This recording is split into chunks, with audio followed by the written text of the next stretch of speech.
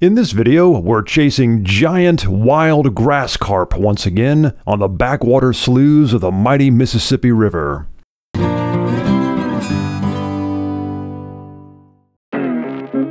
It's early September here in my home state of Missouri, and after several weeks of extreme heat, the weather has finally cooled down enough to get back on the water and do some fly fishing for big, wild Mississippi River grass carp.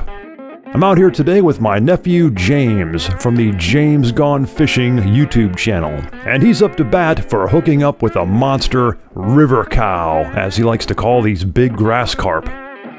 As always, we're looking for actively feeding fish, as this kind of fishing is primarily sight fishing. And this day, we did a lot of looking. We paddled all over creation and could not find any fish anywhere, which was really odd. But just as we were about to call it quits for the day, we floated down one more little side slough of the river and finally spotted one big lone fish feeding away. And it was game on. Big grass carp on. After hours and hours of chasing them down, we have finally found a grass carp. This thing is like a anchor. It's not even moving. James here made a perfect cast. He was over that. He was over there feeding along that. Uh, oh man, he's a big one. He was over there feeding along that brush pile. Oh, he's a This tank. might be my biggest grass Maybe. Yeah.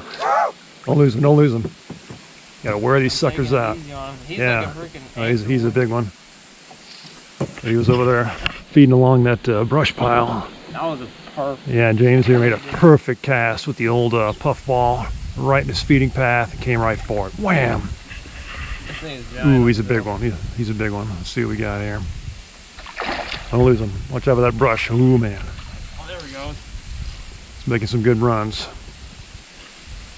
Now he's pulling us. Ooh, man, he's big. Whoa! And big. Yeah, it is. He's a he's a big one. Okay, I got the net ready. Ooh, here he comes. Here he comes. Here he comes. Here he comes. Oh, he's a big one. He's a big one. Ooh, man, don't horse. Oh, don't horse him in too much. It's nice and easy. Bet you he's a good. I bet you he's a good 20 pounder or close to it. Um, you ready? I'm ready.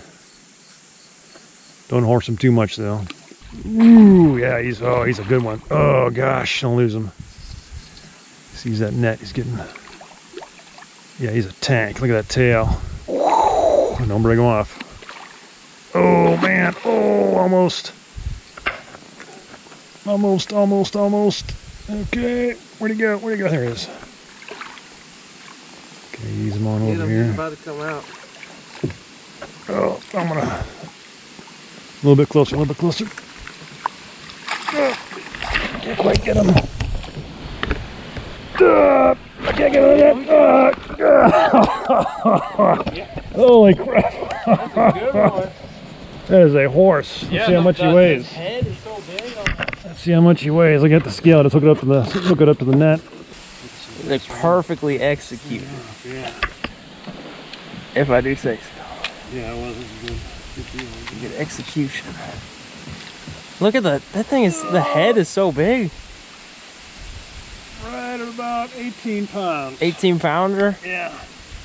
It's a, it's a good looking fish too. Yeah, here we go. I want to grab him out of there. I'm gonna Yeah. get pictures with you. Epic picture. Well, there you have it, my friends. Another huge fish on a tiny fly.